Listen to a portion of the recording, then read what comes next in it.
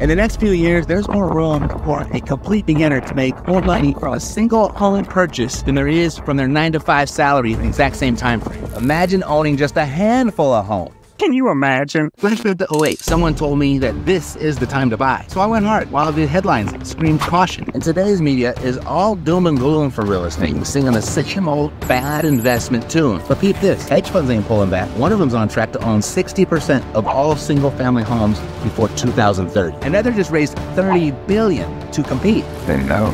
What do they know? They're playing the long game. They're betting on real estate's inflation beating future, a future they'd rather keep to themselves. They need you to cower in the corner for their plan to work. And from what I see in the comments, their plan is working. So, what's your plan?